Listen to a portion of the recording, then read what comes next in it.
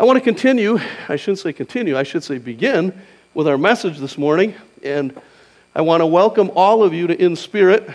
If you're visiting, I, uh, not only do I want to say welcome home, but a special welcome um, to this series. This is the third week of our Love Does series of messages. And uh, if you're unfamiliar with Love Does, uh, that's the title of a book. It's a New York Times bestseller, and it was written by Bob Goff. And what I like about Bob Goff is that he's not only funny, I mean, those of you who are reading the book, you, you, get, a kick, you get a feel for how crazy Bob is. And if you're watching the videos, you get a much better feel for how Bob is. What I love most about Bob Goff is not just how real he is, and when you read the book, you see that. He's very transparent. What I really like about Bob Goff is that his whole intent in that series is for Christians to embrace the life that God wants for his people. Bob says, How to be extraordinary in an ordinary world. I think God has special things planned for his people, don't you? I don't think God wants Christians just to be ordinary and just blend in with the rest of the world. This is God who created the heavens and the earth, the God who made everything perfect in the very beginning and then gave it to his people. Now, I know we don't live in a perfect world, do we? I look at the news this morning and I see uh, Christians who are suffering, Christians who are being persecuted, Christians who are having their heads cut off. And we saw that again this morning in the news. I look at the brokenness in our country. There's a, a verdict that's going to come this week, most likely, in Ferguson. Um, and this and all the racial tension and so forth that, that's you know anticipated in this in these decisions and i look at them and say how can we as god's people experience extraordinary when we live in a world that's so broken and seems to be so ordinary huh I just really believe that God wants his people, the God who created everything good, and not just good, but you know, on the first day he created and it was good. On the second day it was good. It was great until in the garden it was broke.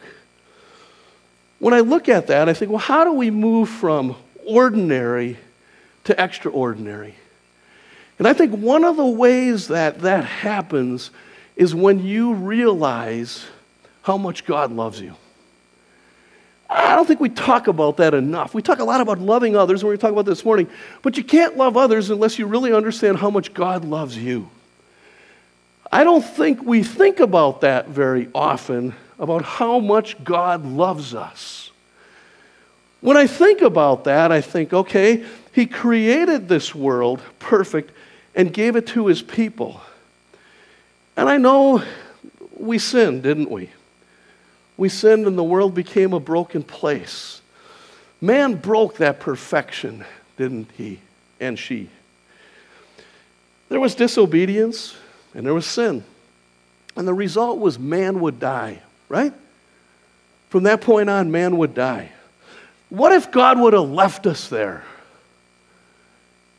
Hopeless and helpless.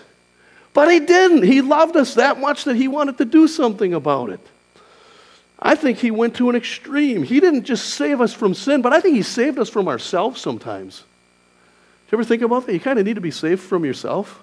Because if we were left on our own, I think we'd self destruct. God came to save us and to save ourselves. So, in his place, if you think about this, he sent his one and only son, right? To die. What kind of God would do that? A God who is crazy in love with you. A God who said, I can't leave these people here. I'm going to pay the ultimate price. I'm going to take care of this, and I'm going to send my son. That's extreme, isn't it? That's extraordinary. That's a crazy kind of love. And he did that for you and I. But it, we sometimes think it's stopped there. That's really just a piece of it, isn't it? He created, we blew it, he sent his son, and it doesn't end there. It keeps flowing, doesn't it? I don't know how often you think about that. I know that many of you grew up singing the song, Jesus loves me, this I know, for the Bible tells me so. And we sing songs about God as love. But do we really think about how much God loves us? Do we really think about how much His love just continues to flow? I want us to hang on to that word flow this morning. If you notice, that was a word that was used different times in the praise team in their songs about God's love that flows. Here's where I'm going with this this morning God loves us so much that He continues to just lavish that love. It just continues to flow into His people. It's not what He did or what He's doing, but for those who are in Christ, it's what He's going to do in heaven as well, right? This is a lifelong journey where His love just continues to flow. One of my questions this morning is what happens if that love stops flowing? God's love isn't going to stop flowing.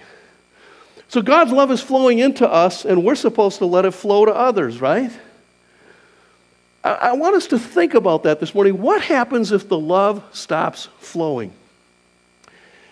In my thinking about this this past week, a couple of pictures came to mind.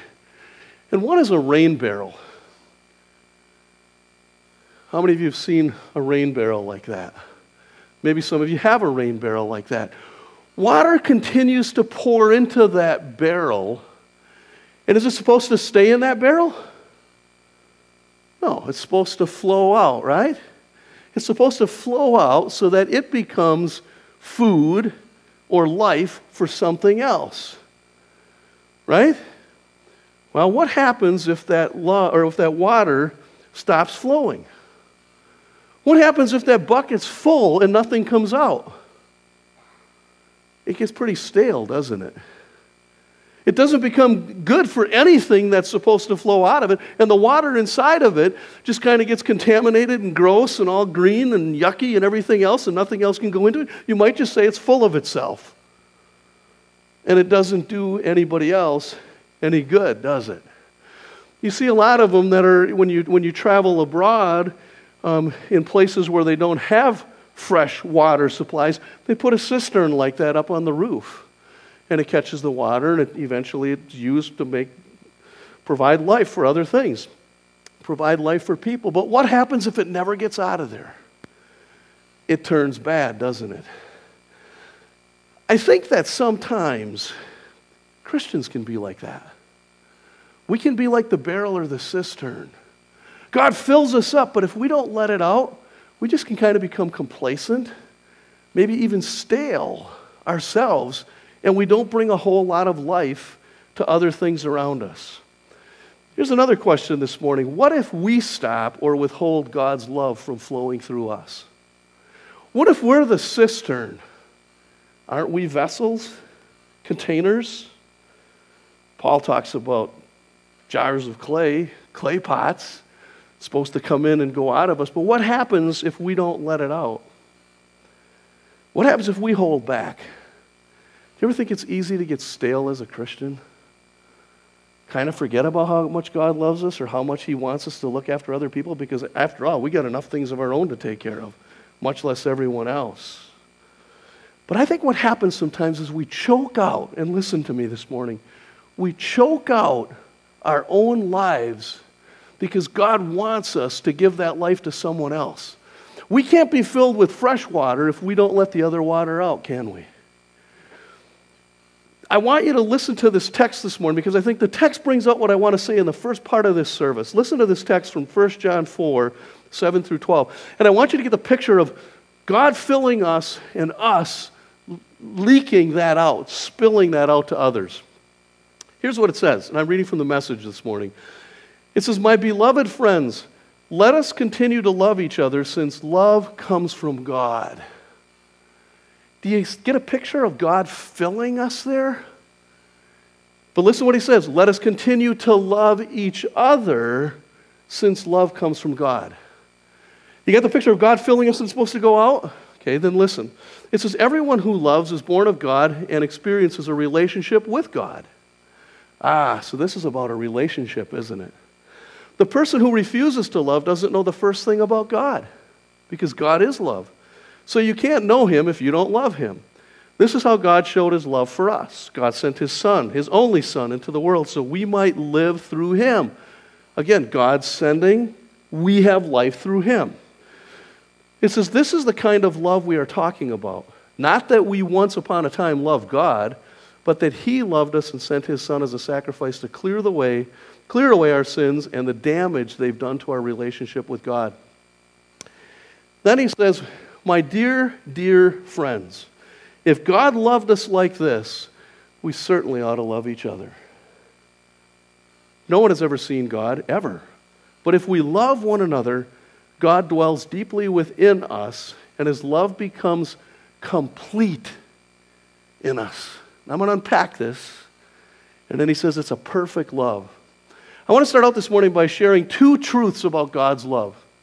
And you need these as a reminder. We all need to be reminded of this. And I think this is especially important going into Thanksgiving and, and Christmas, a season that's all about loving others. Number one, God's love is audacious. God's love is audacious. God is crazy in love with you. I don't know how often you think about that, but God wants to have a relationship with you. I read something this past week, and it said if God isn't answering your prayers, be thankful you got to spend time with Him. God wants a relationship with us no matter what's going on. He wants us to spend time with Him. He's crazy about us. That's why in the text it says God sent His Son into the world so that we might live. Live now and live eternally. It's not what He just did, but what He's doing and what He's doing forever. When I think about God's love and how it continues to flow, just think with me on this. God said He will always be with us. I don't care where you find yourself in life. He says, I will never leave you or. Do you ever feel like God maybe left you or like, where are you, God? Still a relationship, isn't it? And he says, I'll never leave you. That's his promise. I love you that much that I will never leave you. What about when we blow it? There's not a, there's not a day that goes by that I don't blow it somehow. Probably blow it before I get out of bed in the morning. And God says, I'm going to give you a second chance. God loves us enough to always give us a second chance. How about the way He provides for all our needs? I'm amazed at how God continues to provide all our needs. I love that song by David Crowder, and we didn't sing it this morning, but it's how He loves us like a hurricane. You ever think about that? God just loves us like a hurricane. He's just like a storm that just sends his love on us. You can't escape it if you're in it. If you're in it. He loves us that much. That's an audacious kind of love.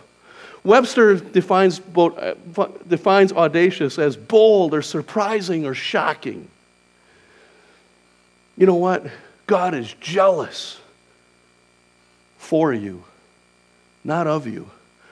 If you know your Old Testament, it talks often about we have a jealous God.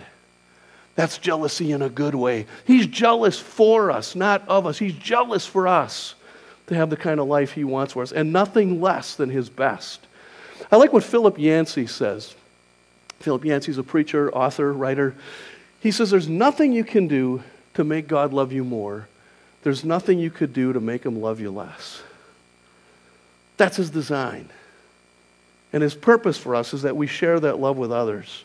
That's the second part of it. Number one, you got to be aware of God's love. You got to know how much God loves you. And then number two, we're to love others like God loved us.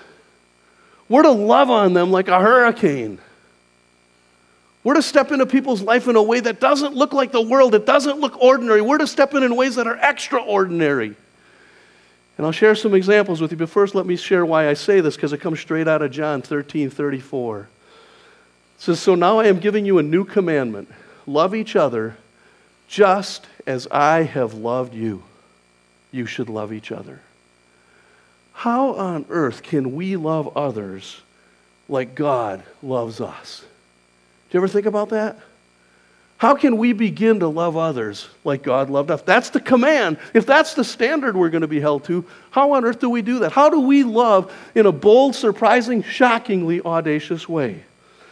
Let me give you several things this morning, and I'm encouraging you to write these down and think about these and practice them over the course of the next month and a half as we enter the holidays. First of all, audacious love requires filling. If you don't fill up your car once in a while, how far would you get? Not very far, would you? If you don't put money in your checking account, you might have blank checks in your checkbook, but they're not going to go too far if you don't put money in that account. If you don't stop and eat three meals a day, how do you expect to stay healthy and strong and go to work? If you don't spend time with God, devotions, reading, Christian books, life groups, church, prayer, how do you expect to give away what he, you aren't getting yourself? You can't give away what you don't have. Audacious love requires filling. Listen to these words from Ephesians 3 16 through 20. I pray that out of his glorious riches he may strengthen you with power through his Spirit in your inner, in your inner being, so that Christ may dwell in your hearts through faith. And I pray that you, being established and rooted in love, may have power together with all the saints to grasp how wide and how long and how high and how deep is the love of Christ, and to know that this love that surpasses knowledge, that you may be, you see that? That you may be filled to the measure of all the fullness of God. Romans 15, 13. Here's why this is so important. It says, May the God of hope, say it, fill you, fill you with all joy and peace as you trust in Him. Why? so that you may overflow with hope by the power of the Holy Spirit. We could talk about this for a long time, but it's a personal thing. You got to think about this. If you're to love audaciously, you got to be filled up. You can't give what you don't have. See, we got to be filled up, and the Bible says that. If we're filled up, then what do we do with it? Number two, audacious love requires, and I just put in there spilling. I don't want to say trickle out, but spilling. Just like when somebody knocks over a whole pitcher or something on the kitchen table and it flows everywhere and everybody's affected by it.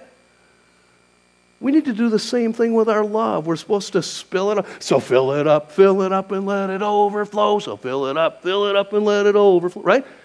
You know that song? It's not just a song, that's a lifestyle that Christ wants for his people. Isn't that what Jesus did? He spent quiet time with his father so that he could go out and do more ministry, and it spilled out to everybody around him. When Jesus was around, you knew it. People loved him, people hated him. Guess what? We're to do the same thing. Some people are going to love you, some people are going to think you're nuts. Why would anybody go to that extreme? Why? because we're blessed to be a blessing. We're supposed to be filled up and we're supposed to let it out and overflow, let it spill out. Look at the Bible text for what happens when we do that. Luke 6 38. It says, Given you will receive. Your gift will return to you in full, pressed down, shaken together to make more room for more, running over and poured into your lap. The amount you give will determine the amount you get back if you're not giving love away, you don't have any room to take in God's love either. Filling and spilling, make room for more. Okay? Number three, audacious love responds to opportunities. And these are where the challenges come in. It responds to opportunities.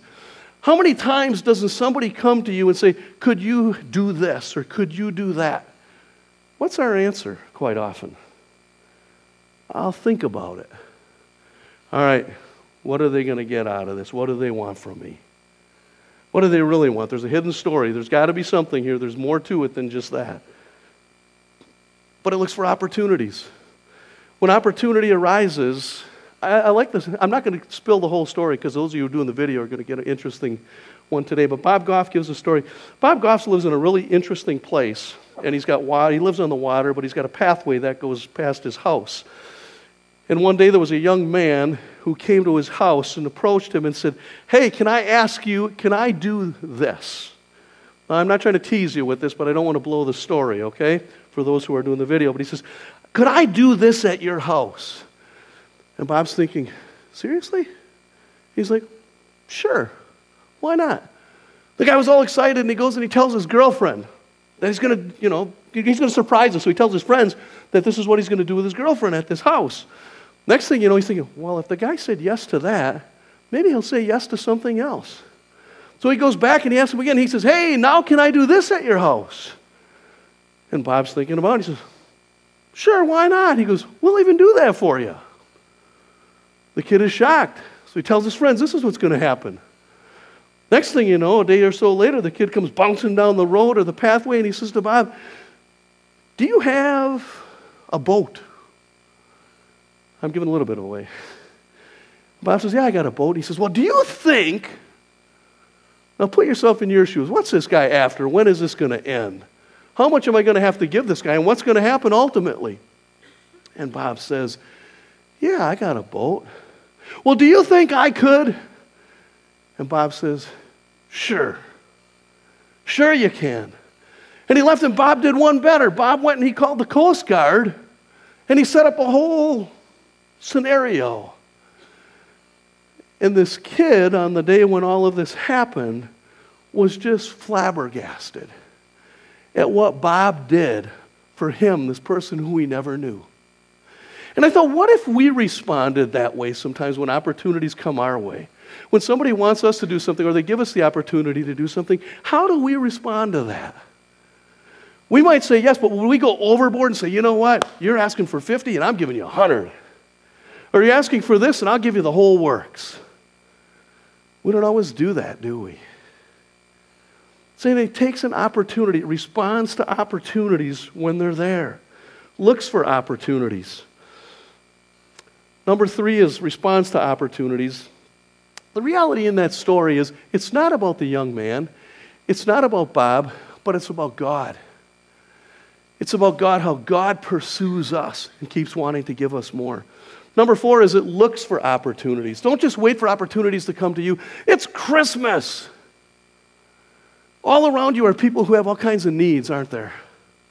Maybe this year for Christmas, maybe your family ought to adopt somebody or participate in an organization and just go overboard. Just blow them out of the water and do something audacious. Do something bold, surprising, or shocking. I love what the students at Indiana Wesleyan University did probably four or five weeks ago. And you might have seen this on the national news because it made the news, it made the papers, and everything else. But on a Wednesday morning for their chapel, I think they have about 2,000 kids that come to chapel on Wednesday morning. And it was a 10 o'clock service. And the president got up there at the beginning of the, it was the president of student housing, got up in the beginning of the service, and he said, You know what, kids, students, we're going to do something different today. He said, This chapel is going to be like none other. He said, What I want you to do is, he said, I want you to take out a note. And he said, We're going to bless somebody. We're just going to bless somebody. He took this off from Andy Stanley, did this. Andy Stanley says, Bless one person in a way that you could bless everybody. So he said, We're going to take out a note of paper. And he says, I want you to thank a person. Just put on there, Thank you for the work you're doing. We love you. We appreciate you. We know you don't get a lot of thanks, but thank you for this. And then he said, and we're going to pass around a collection plate. And he said, you put in there whatever you want. And he says, the next thing we're going to do is we're going to call Domino's Pizza at 10 o'clock in the morning. And we're going to order two pizzas. Now, don't anybody tell the pizza driver. But the pizza driver comes in at 10:30 with two pizzas to a chapel filled with 2,000 students. And the guy came in and thought, What am I doing? And the guy on the stage, the president said, I'll bring them down here. He said, I'm waiting for those. So the guy came down, they put him on the stage, and he handed him the two pizzas, and he said, We have something for you. He handed him a bag full of notes from 2,000 kids and a tip for $1,268. The guy melted. And the guy said, You know what? This year I'm going to be able to have Christmas with my two kids. What a cool way of an audacious, audacious way of loving somebody. Do for somebody what you'd like to do for everybody. Well, where do you start with that? Maybe you've got somebody at work. Maybe you've got somebody at school. Maybe your school needs to do something. Maybe your class needs to do something. Maybe your family needs to do something. Maybe the church needs to do something. Our groups are doing that. Number five, you got to be willing to take a risk. Audacious love requires a risk. Sometimes I think when we try to bless people, we might have a little motive in it, or we might think, well, how are we going to benefit from it? What if they couldn't give us a thing back? That's a true gift, isn't it? When you give something to somebody that they could never repay you for.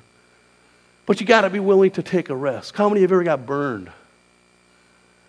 Let's be honest. What happens when we get burned? We tend to get scarred, don't we? And we tend to hold back and we think, I'm not going to get burned again. Sometimes we do things for people and we get hurt. We get hurt and we want to write them off. But you know what happens when we do that? If we let love, if we stop love from flowing, we'll never take a chance to be willing to be loved again. What if Jesus would have loved us based on what we might have given in return? There's many ways, many different ways that we're to go in love like that. Takes me to number six love doesn't keep score. Audacious love does not keep score. I like, I like what Bob Goff says. He says, when we close off the possibility of loving others, we close off our capacity to be loved by God. Listen to these words in 1 Corinthians 13, 4 through 8. It says, Love is patient. Ouch. I confessed Friday night in the middle of my living room to another couple that I am not patient. My wife, if she's in here, she's in the kids' room, but she'd say, Amen. When you put me in a car that broke and then it misfired without a map in a foreign country and it's hot and sticky and no food, you know what happens to me when I don't eat? I'm not very patient. I think we all get that way sometimes. We get impatient when we're loving because we want results, and sometimes we look at it more what's in it for us. It says, Love is patient, love is kind, it doesn't envy, it does not boast, it is not proud, it is not rude, it is not self seeking. Boy, that's a good one at Christmas time. I'll love you if you love me. I love you, you love me. We're a happy family, right? Doesn't work that way. I don't know all these songs are coming from this morning, reliving my childhood, but we tend to do that, don't we? We think, well, if I love them, they'll love me back. What if we just loved and didn't expect anything back? It says it's not self seeking, it's not easily angered, it keeps no record of wrongs. I guess that's maybe a challenge for you this Christmas, too. Erase the board when it comes to records of wrongs because Christ erased the board for us.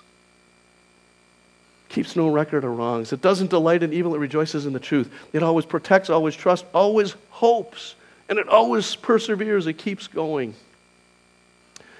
There's one more point, and it comes straight out of our text that I read at the beginning from John 4. Audacious love completes us. It completes us. Listen to these words again. It says, My dear friend, if God loved us like this, we are to certainly we certainly ought to love each other. No one has seen God ever. But if we love one another, God dwells deeply within us, and his love becomes complete. See, if we don't love, we're not complete, are we?